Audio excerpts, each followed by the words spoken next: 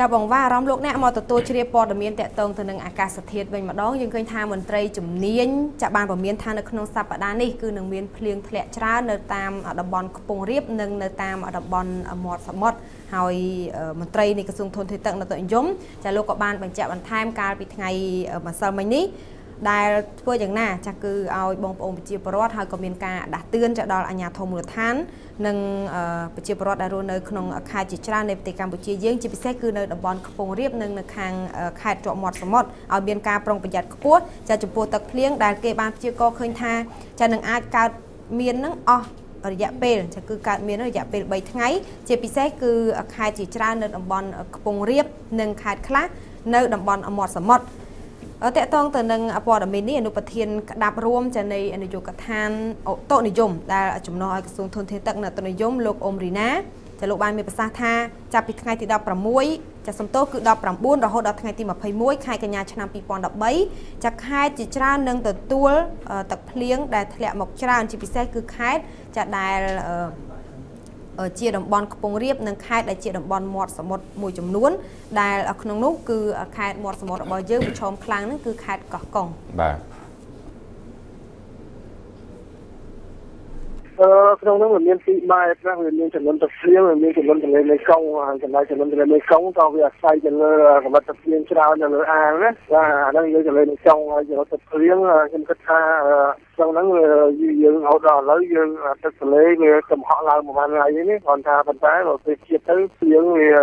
ក៏ភ្លៀងខ្លាំងមកមុំដល់មិនតាន់ដល់ដូចឆ្នាំ2011ដែរដោយសារថាទឹកមិនតាន់ដៃវាបាទ ចានេះគឺការលើកឡើងរបស់លោកអ៊ុំរីណាដែលតកតងទៅនឹងខេត្តមួយចំនួនដែលនឹងរងផលប៉ះពាល់ដោយសារតែការធ្លាក់ទឹកភ្លៀងច្រើននេះហើយនៅពេលដែលចោទសួរថាការដែលទឹកភ្លៀងធ្លាក់ច្រើនគឺអាចនឹងបង្កទៅជាទឹកចំនួនដែរឬទេចាលោកអ៊ុំរីណាលោកក៏បានបញ្ជាក់បន្ថែមប្រាប់ដល់កម្មវិធីយើងខ្ញុំយ៉ាងដូចនេះអឺក្នុងហ្នឹងដូចខាង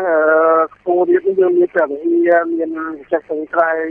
បាទពងចាមរតនគិរីមណ្ឌលគិរីហ្នឹងហើយដល់ផ្នែកអាចនៅដល់មកដល់កំពង់ធំហ្នឹងហើយហើយចំណែកតាមមាត់សមុទ្រមានកោះក្រុងបាទបាទហើយដល់ក្រោយអត់ផ្សេងៗទៀតក៏អាចសូមមកជុំប្រគួរណាបាទបាទ ចាត់ដោយឡែកឯកឧត្តមច័ន្ទយុធាអ្នកនាំពាក្យនិងជានាយកខតកាល័យក្រសួងធនធានទឹកនៅតនយមត្រូវបានបណ្ដាញផ្សាយព័ត៌មានដកស្រង់ប្រសាសន៍កាលពីម្សិលមិញថាចាប្រទេសកម្ពុជានៅពេលនេះគឺនៅតែបន្តទទួលរងអធិបុលប្រព័ន្ធសម្ពាធទាបបង្កឲ្យមានភ្លៀងធ្លាក់ច្រើននៅតំបន់មាត់សមុទ្រនិងតំបន់ខ្ពង់រាបចំណែកឯតំបន់ទំនាបកណ្ដាលគឺមានភ្លៀងធ្លាក់មធ្យម ចៅឯកឧត្តមលោកបានបន្តទៀតថាប្រព័ន្ធសម្ពាធទាបដែលកំពុងតែមានឥទ្ធិពលលើប្រទេសកម្ពុជានេះបាននឹងកំពុងតែបង្កឲ្យមានភ្លៀងធ្លាក់ច្រើននៅអាងទន្លេមេគង្គលើធ្វើឲ្យទឹកទន្លេមេគង្គជន់ឡើងលឿនយ៉ាងគំហុកក្នុងរយៈពេល3-4ថ្ងៃខាងមុខតែឡើងមិនដល់កម្រិតកម្ពស់ទឹកត្រូវប្រកាសឲ្យមានការប្រុងប្រយ័ត្ននៅរាជធានីភ្នំពេញនោះទេចៅឯកឧត្តមលោកបានបញ្ជាក់បន្តថានៅប្រមាណថ្ងៃខាងមុខទៀតจะនឹងមានព្យុះទី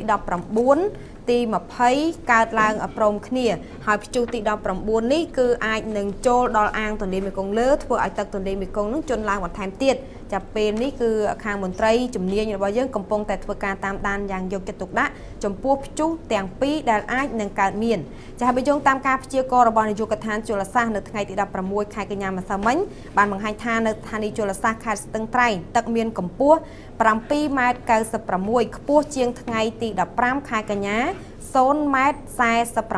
49 នៅស្ថានីយ៍ជលសាស្ត្រខេត្តក្រចេះទឹកមានកម្ពស់17ម៉ែត្រ50ខ្ពស់ជាងថ្ងៃទី15ខែកញ្ញាចា0ម៉ែត្រ30នៅស្ថានីយ៍ជលសាស្ត្រខេត្តកំពង់ចាមវិញទឹកមានកម្ពស់11ម៉ែត្រ96ខ្ពស់ជាងថ្ងៃទី15ខែកញ្ញា0ម៉ែត្រ16 រីឯនៅខាងស្ថានីយ៍ជលសាស្ត្រទន្លេបាសាក់ចតុមុខចាស់ទឹកមានកម្ពស់8ម៉ែត្រ30ខ្ពស់ជាងថ្ងៃទី15 0ម៉ែត្រ05ម៉ែត្រចាស់សំទោស0ម៉ែត្រ05ហើយដែលឡែកកម្ពស់ទឹកនៅបឹងទន្លេសាបនៅស្ថានីយ៍ជលសាស្ត្រកំពង់លួងវិញមានកម្ពស់ 6ម៉ែត្រ84ស្មើគ្នាចានៅថ្ងៃទី15ខែកញ្ញាហើយគួររំលឹកដែរថាប្រទេសកម្ពុជាយើងកាលពីឆ្នាំ2011កន្លងទៅគឺបានទទួលរងគ្រោះយ៉ាងធ្ងន់ធ្ងរដោយសារតែទឹកចំនួនដ៏កាចសាហាវមួយដែលបានសម្លាប់មនុស្សនឹងគឺអស់រហូតដល់ជិត